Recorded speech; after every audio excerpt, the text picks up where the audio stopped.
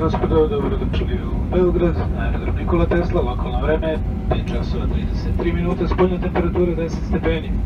Ostanite na svojim sedištima sve dok avion ne zauzme parking poziciju dok se ne isključi znak za izjevanje pojasa. Molimo vas da budete pažljivi prilikom otvaranja gornjih kolica i podsjećamo vas da pri izlasku iz aviona provjerite da li ste sa sobom poneli sav svoj lični prtljak. Nadamo se da vam je let sa nama bio prijatelj ime kapetana Kankaraša i našeg tima zahvaljamo što ste leteli u Srbiju i radimo se ponovno susretu na nekom od naših sledećih letova.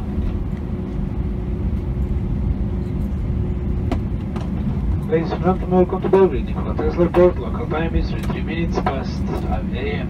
The outside temperature is 10 degrees centigrade. We kindly ask you to remain seated until the aircraft comes to its final parking position. Approximate sign has been switched off. Kindly take care when opening storage compartments and ensure that you collect all your belongings before leaving the aircraft. We hope you have a pleasant flight. Thus, on behalf of Commander Kankarosh and the rest of the team, we thank you for choosing Serbia and we look forward to meet you again on another Serbia flight.